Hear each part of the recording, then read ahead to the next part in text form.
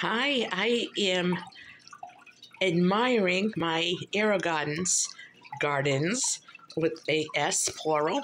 Um, look at the cherry tomatoes and the dill and the bell peppers, jalapeno peppers, basil, more dill, more cherry tomato, lettuce. And over here, I have oregano and uh, jalapeno pepper, more lettuce, lettuce, lettuce, lettuce, uh, pepper, I believe. And then back here is escarole that started coming up. And I have peppercini peppers. I still got the covers on because they are not germinating yet. Peppers take a long time.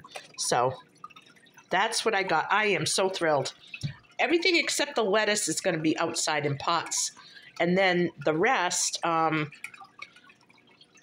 the lettuce and I think the lettuce bas- and basil I'm going to keep indoors and just I'll have a constant supply.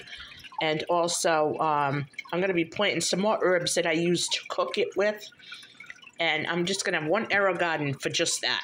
And then the other one will be um, to be transplanting plants outside. Plus, I got my greenhouse, which I have to go check on. So that's a separate video. But anyway, look at this, guys.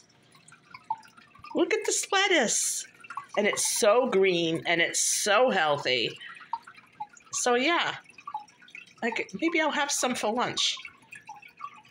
I think I'm going to. So I just want to give you guys an update. These gardens work great. If you don't have one, you need one. I'll catch you guys later. God bless.